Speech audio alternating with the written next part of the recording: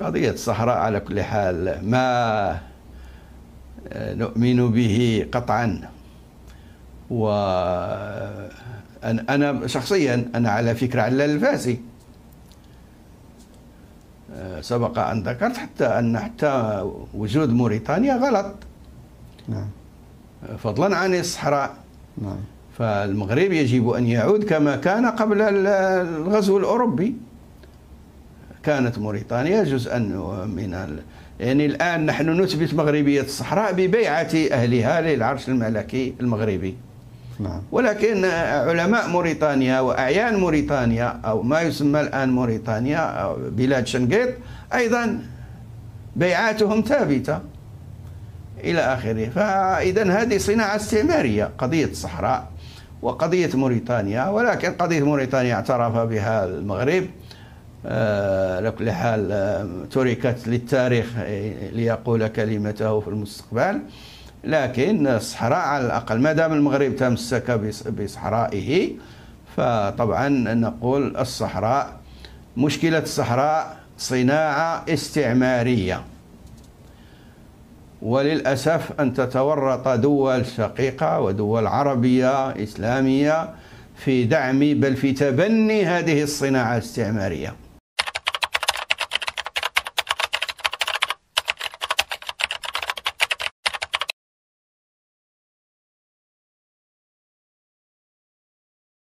بمصطلح الفقهي بمصطلح بمصطلح الفقهي نعم. ماذا تسمون أو كيف تحكمون على من وقع؟ صفقة القرن أو من وقعها.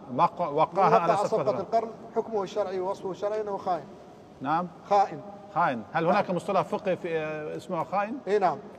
خائن. حتى مصطلح قرآني ومصطلح حديثي. إي نعم. فقد خان الله ورسوله والمؤمنين نعم. وهذه صفة المنافقين لأن النبي صلى الله عليه وسلم قال آية المنافق ثلاث إذا حدث كذب وإذا وعد أخلف وإذا نعم. اؤتمن خان.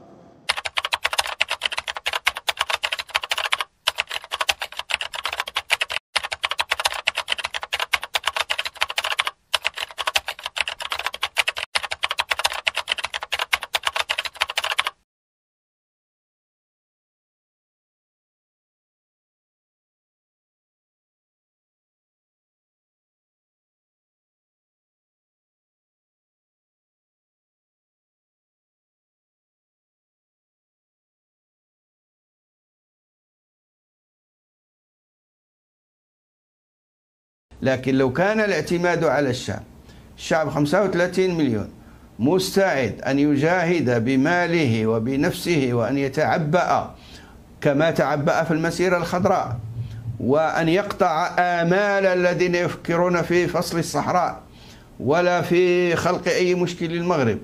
المغرب مستعد إذا دعا جلالة الملك إلى مسيرة بالملايين بالملايين.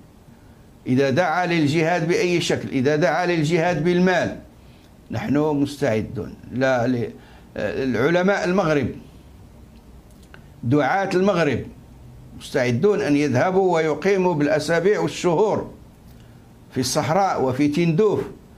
نحن لا نقيم مسيرة فقط إلى العيون بل مسيرة إلى تندوف.